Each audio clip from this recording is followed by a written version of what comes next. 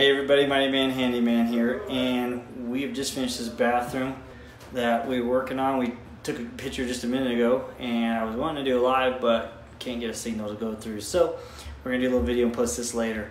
But let me show you the bathroom, guys. Turn around here. So there's. I just back up here a little bit. There's Dustin, everybody. Say hi, Dustin. Hey guys. yeah, he's cleaning up right now, and then we're gonna get ready go. There's the vanity. That turned out awesome. There's the tile on the floor.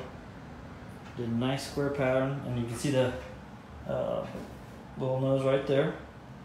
And it comes around here, and we used it for the base as well. So you can see it goes around there. So it turned out really nice. And there's a little half wall. There's the floor. There's a little shelf there the uh, seat right there, and it's dual shower head. So the only thing now that's left really actually is to do the door. So there's to be a door right here, and there's to be glass up here, of course. Sorry, I like that. Square up there. And a little light there, we've got it. So, yep, so we got to order that glass. That's the only thing that's left.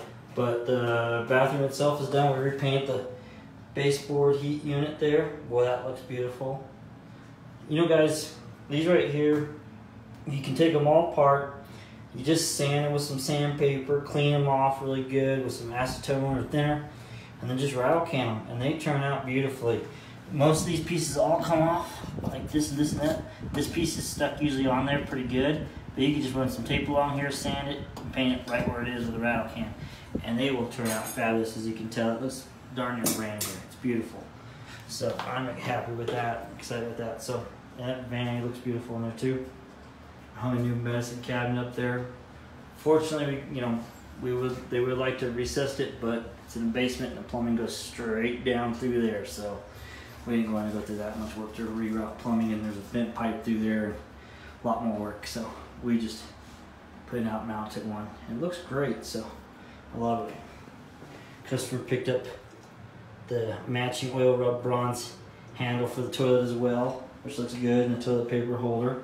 So it looks awesome, guys. What's that? Toilet paper goes up, huh? Yeah. Slide. Nope, that's a sitting roll. It slides down on top of it. Huh. You know, it's supposed to be copper pipe. You see that? There's a cap right there for copper, you know?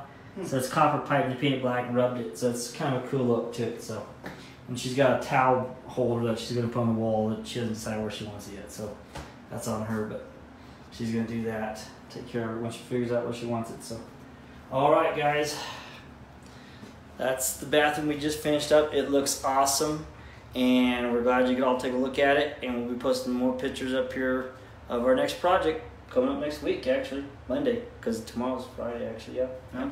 Friday. So we'll see y'all later. Have a great weekend. If we don't post anything tomorrow, well, we'll post something tomorrow.